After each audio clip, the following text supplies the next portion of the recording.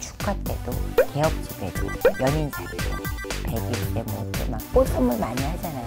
근데 안개꽃은 주면 안 된대요. 좋으면 이쁘다고 무조건 주는 게 아니라 좋다고 주는 게 아니라 이게 안개꽃은 눈물이래. 만파로 퍼지라고. 좋은 향기를 만파로 퍼지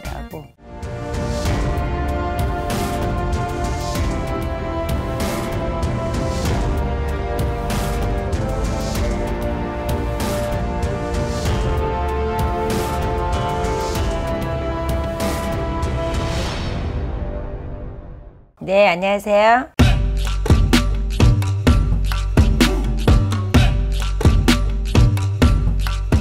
추천해주고 싶은 거는 꽃대 신당이 안개꽃. 우리가 꽃 선물을 많이 하잖아요. 뭐 어디 축하 때도, 개업집에도, 연인 사이도, 100일 때, 뭐 때 막 꽃 선물 많이 하잖아. 근데 안개꽃은 주면 안 된대요. 안개꽃은 눈물이래. 그리고 안개꽃이 좁쌀좁쌀 하잖아요. 꽃 자체가. 그래서 만파로 퍼졌잖아. 안개꽃은 제 운도 이렇게 선물로 줄 때 좁쌀처럼 퍼진대. 끊어짐이 많고 약하대. 안개꽃 근대가 이렇게 뿌리가 되게 약하잖아. 안개꽃을 주면 안 된다고 하더라고.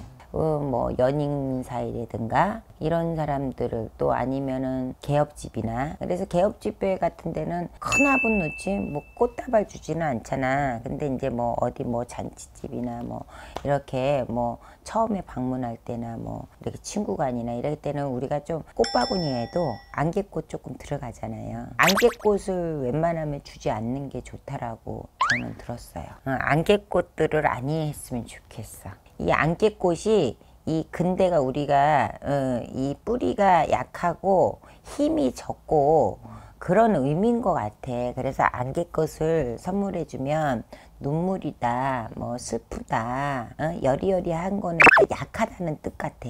안개꽃 자체가 여리여리하잖아. 그러니까 약하다는 기운이야. 그러니까 기운으로 보면 약한 거지. 건강하지 않은 거지. 그러다 보니까 안개꽃 같은 경우는 좀 피해 줬으면 좋겠고 또 신발 같은 거는 선물로 주는 게 아니라 신발 신고 도망간대요. 그래서 신발 같은 거는 옛날서부터 주지 말라고 그러잖아. 어? 그래서 뭐 신발은 사주는 거 아니다. 도망간다. 어른들이 신발 같은 거 선물 못하게 하잖아. 신발 선물 같은 거는 많이 안 하는 거고.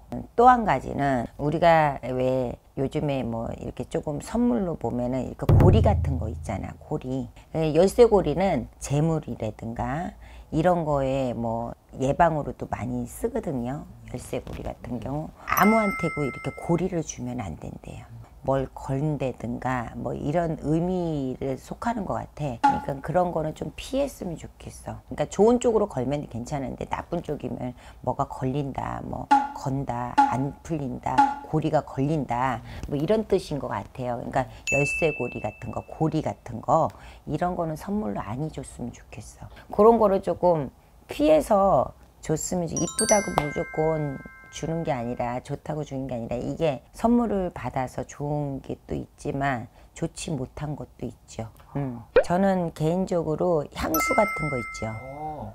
어, 퍼지라고 많이 퍼지라고. 어, 저는 어, 선생님 선물 뭐 해줬으면 좋겠어요? 뭐 하면 좋아요? 이러고 간혹 신도들이 물어보면 향수.